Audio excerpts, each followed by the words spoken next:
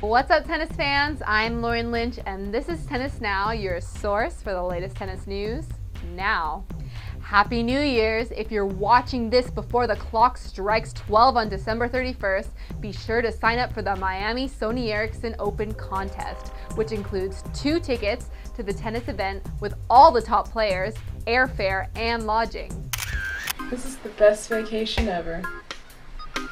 Yeah, Told you we didn't have to spend all that money. yeah.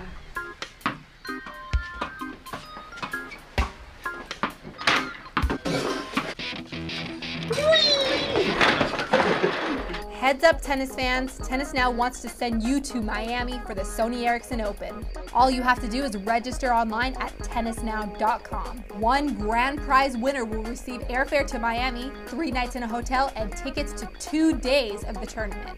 For full details and contest rules, log on to tennisnow.com and follow the link at the top of the page. Once you're done, have a look at our daily news updates, live scores, player gear guides, and more. The contest is open through December 31st, 2010. You can enter once a day for more chances to win, so keep logging on to tennisnow.com. If you didn't make it in time, be sure to open up the Tennis Now year-end digital magazine with a ton of new promos and contests. All are in the links in the info section below. Click the subscribe button right here on the Tennis Now logo to figure out all of our tennis features.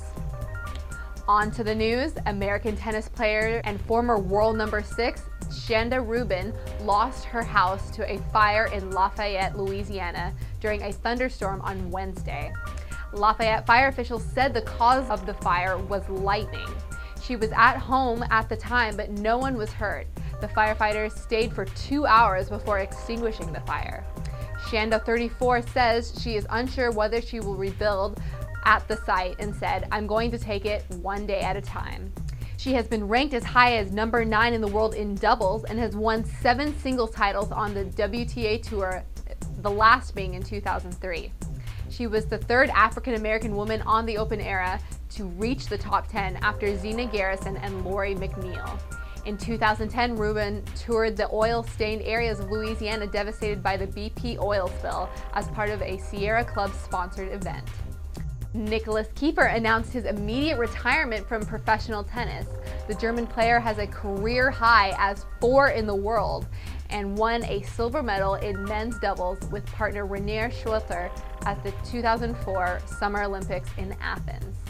He has five ATP Tour finals. The reason he stated he was retiring from tennis was that he wants to spend more time with his four-month-old daughter, Mabel Emmeline, as he wrote on his website. The 2011 WTA and ATP Tour begins in Brisbane on Sunday, and Caroline Wozniacki is starting off the new season officially with a Yonex racket, the new V-Core, after playing with a Babolat racket for the past five years. Well, that wraps us up for today, tennis fans. Be sure to subscribe to the Tennis Now YouTube channel, which we made super easy. All you have to do is click on that green button under the Tennis Now logo and follow us on Facebook and Twitter as we'll be covering the latest in 2011. I'm Lauren Lynch, and this is Tennis Now. Thanks for watching. See you Monday.